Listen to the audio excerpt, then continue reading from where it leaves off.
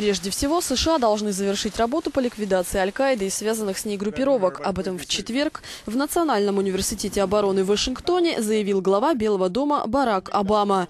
Президент определил основные направления американской политики в борьбе с терроризмом. Говоря об использовании беспилотных летательных аппаратов, Обама отметил, «Мы не наносим удары, когда у нас есть возможность захватить террориста. Мы всегда отдаем предпочтение задержанию, допросу и привлечению к ответственности. Америка наносит удары не для того, чтобы наказать наказать отдельных лиц. Мы предпринимаем меры против террористов, которые представляют неизбежную угрозу для граждан США, и когда правительства других стран не могут устранить эту угрозу. Речь президента прервала активистка пацифистской организации Code Pink.